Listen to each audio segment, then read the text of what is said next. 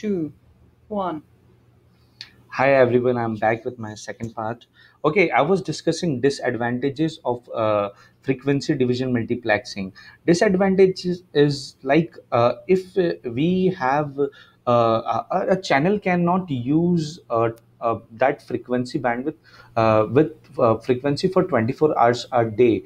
So mobile communication in context of mobile communication, our communication only take a place for a few minutes at a time. So what what is happening is we are uh, uh, we we are not utilizing that uh, frequency very much. It has been used for uh, uh, for some minutes but we have assigned it completely to a channel. So uh, it uh, the resources have been wasted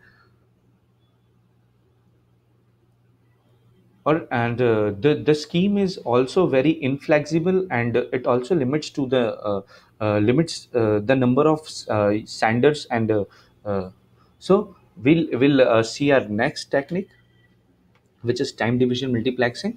In uh, time division multiplexing, the whole bandwidth for a certain uh, is given to an uh, sender for a, a certain amount of time. All the sender use the whole frequency, but at different points of time. At one time, only one user can use uh, that frequency, that bandwidth.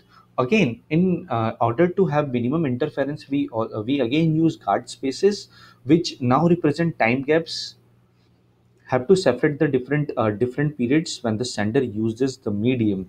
Okay they ha- uh, time uh, guard spaces uh, uh, separates the uh, periods jab, when different use senders uses the medium. This is if we go uh, with if we try to understand this with highway uh, highway example it is the uh, guard spaces is the gap between two cars if two transmission overlap in time, this is called co-channel interferences.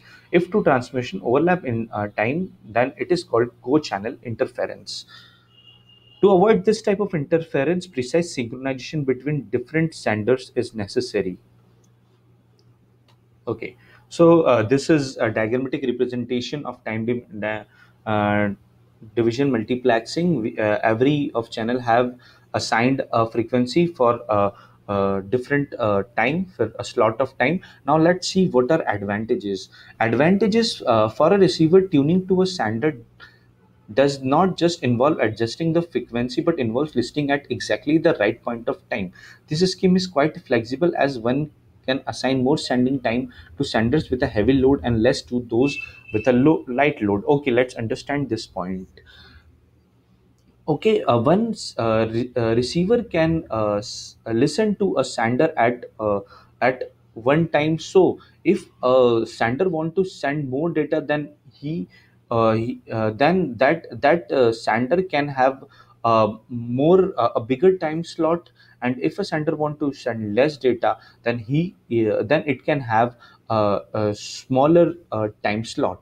So it is quite flexible scheme so, uh, and what uh, is disadvantages? Disadvantages, uh, all senders need to precise clocks or yeah, they, they have, there need to be a synchronization steps between senders. If one want to uh, listen to, uh, uh, listen, one sender want to listen, then he have to wait for time, time and he, for his time so, but uh, we, we can also have a combination of uh, frequency division multiplexing and time division multiplexing.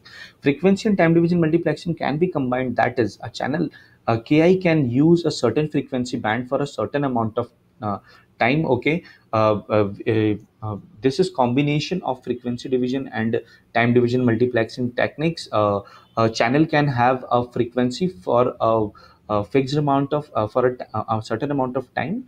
We again uses uh, guard spaces uh, in both time and frequency uh, dimension. The mobile phone standard gsm uses this combination of frequency and time division multiplexing for transmission between a mobile and so-called uh, and, and a base station. Okay? Uh, we can see it in diagram uh, also.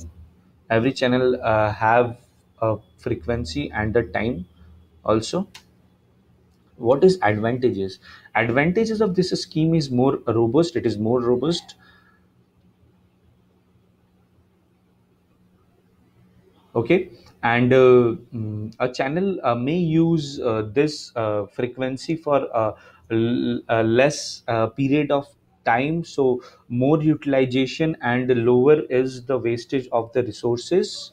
And uh, um, it also provides a protection against tapping. So what is a disadvantages of uh, this scheme?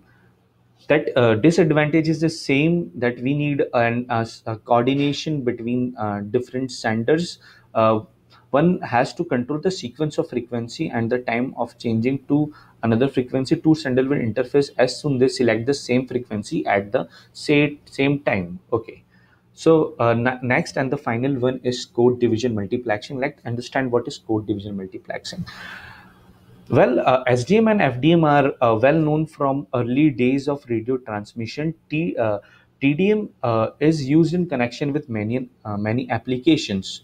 Code division multiplexing is relatively a newer scheme in commercial communication system. It when it was uh, used in military application because of its uh, high high security features. It is uh, it now features in many civil wireless transmission uh, scenarios. Here, all uh, channels are uh, you, which uses the same uh, use the same frequency at the same time for transmission. Sep- uh, separation is now achieved uh, by assigning a code to every uh, channel here we also use the guard spaces. Guard spaces are the ortho uh, guard spaces are maintained with orthogonal uh, codes. We have orthogonal uh, codes.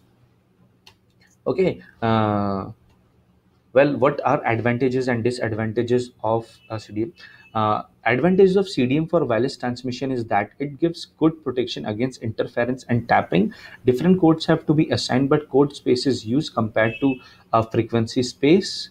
Assigning individual codes to each sender does not usually cause problem. Okay, we have different different codes, and so minimum interference uh, take place, and uh, and uh, also utilization is high here what is uh, disadvantages is like it's a com- complexity uh, a receiver has to know his uh, code